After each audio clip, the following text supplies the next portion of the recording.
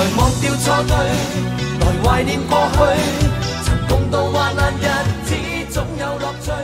当这首歌在你耳边响起时，那些有关兄弟情谊、生死离别、出人头地，以及那些意气风发的少年为了生存在街头打杀的场景，是否在你脑海中激荡、贯穿始终？倘若你已泪流满面，才是青春该有的样子。那是属于八零九零后的青春岁月和集体记忆。虽然现在它已被时间所淹没，但总有一些情怀是属于回忆最抹不去的那个角落。虽不时时刻刻的燃烧，却一直有着属于它的温情时刻。关于《古惑仔》，已然走过二十年的回忆，那些年的江湖情谊当然依旧澎湃。那些无处安放的青春，那些刀光剑影的残酷时光，都已归于平静。陈浩南和山鸡们的电影时代也早已一去不复返。昨天的我们，也已从热血沸腾的青年步入了养家糊口的中年了。如今，《古惑仔》又要以一个新的姿态与大家见面了。将于九月二十一号上映的《黄金兄弟》，郑伊健、陈小春、钱嘉乐、谢天华、林晓峰悉数回归，时隔二十年后再度同框出演，再次出生入死，续写兄弟情谊。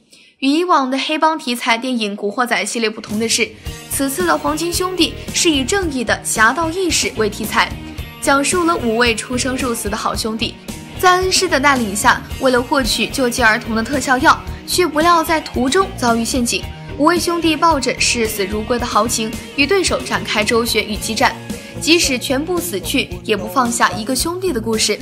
显然，这次黄金兄弟的故事所传达的主旨，不再是快意恩仇、刀光剑影的江湖世界，而是伸张正义的社会责任感和一如既往的情比天高的兄弟情谊。此次的黄金兄弟导演五兄弟之一的钱嘉乐。多年来为不少电影担任过动作指导，无论是设计动作、枪战处理、飞车场面，都有着丰富的经验。因此，我们这次在《黄金兄弟》的预告片中看到的各种精彩的打斗戏、闹市街头的飙车戏、各种爆破场面，以及五兄弟的首次合体枪战，各式枪械装备和各种枪战场景燃点十分的密集，看上去还是十分惊险刺激的。而蒋门人曾志伟、TVB 当家花旦佘诗曼、著名歌手张宇、日本动作巨星仓田保昭的友情出演，也让黄金兄弟更具看点。另外，导演钱嘉乐为了将电影中的美丽特别的跨国场景和火爆激烈的动作场面一网打尽，可谓是下足了功夫。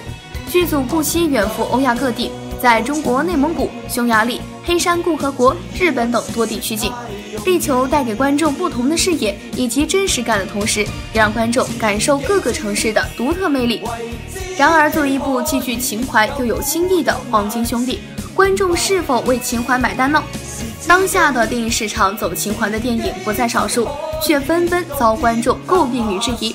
例如前段时间上映的《爱情公寓》《新乌龙院之笑闹江湖》等，可以说情怀这种题材对于观众来说已经没有吸引力了。那么，黄金兄弟是否能经受考验呢？